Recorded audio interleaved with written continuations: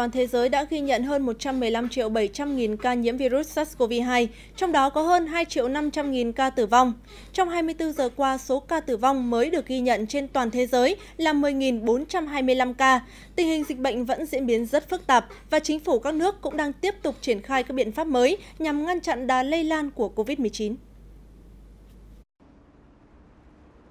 Hàn Quốc vừa tuyên bố sẽ tiến hành giả soát các biện pháp phòng dịch COVID-19 tại gần 12.000 cơ sở sản xuất và ký túc xá có từ 5 người nước ngoài trở lên trên phạm vi toàn quốc. Hàn Quốc sẽ lập nhóm đặc biệt để giả soát kỹ lưỡng các biện pháp phòng dịch tại các địa điểm trên. Nếu phát hiện rủi ro lây nhiễm cao, sẽ lấy mẫu tiến hành xét nghiệm. Các đơn vị không đồng ý giả soát sẽ bị xử phạt hành chính. Ngoài ra, Hàn Quốc sẽ gửi thông báo tới các chủ sử dụng lao động người nước ngoài để định kỳ hướng dẫn về các quy tắc phòng dịch bằng 16 ngôn ngữ.